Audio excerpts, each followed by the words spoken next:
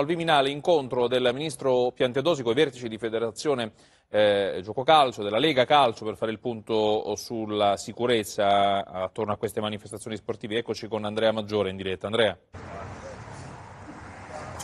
Sì, buongiorno Fabio, l'incontro eh, è previsto all'inizio intorno alle 12, quindi dovrebbe essere già eh, partito questo importante vertice seguito agli scontri eh, tra Ultra del Napoli e di, della Roma eh, sulla 1 all'altezza eh, di Arezzo. Eh, ricordiamo che all'incontro oltre al Ministro c'è il Presidente della Federcalcio Gabriele Gravina, il Presidente della Lega Calcio di Serie A Lorenzo Casini, anche il Ministro dello Sport Andrea Abodi e il Capo della Polizia Lamberto eh, Giannini. Eh, Matteo Piantedosi, il titolare del Viminale, ha assicurato che eh, si procederà con la linea del rigore perché ha detto ci saranno decine di daspo per un fatto vergognoso, eh, stiamo già immaginando controoffensive.